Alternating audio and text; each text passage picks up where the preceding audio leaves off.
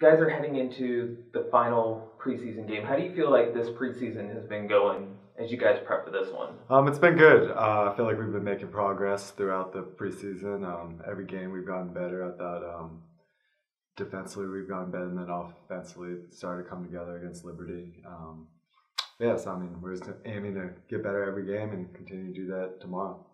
It seems like with the the first few preseason games, you guys have been experimenting with a lot of different lineups. Do you feel like heading into this one, you guys are starting to fall into a rhythm of where guys will be? Yeah, I mean, we had a couple injuries. We still have some people still aren't back yet. Um, but I mean, we're just trying to figure out what works best for us, and um, tomorrow's another opportunity for that.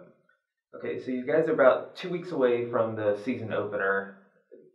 Do you feel like you guys are kind of building up the confidence needed to start off the season heading on the road? Yeah, for sure. Um, we got that last one against Liberty. It was finally nice to put some goals in the back of the net. Um, and we just want to build off that, continue to do that against Maryland tomorrow, and then uh, get on against Bethlehem on next Sunday.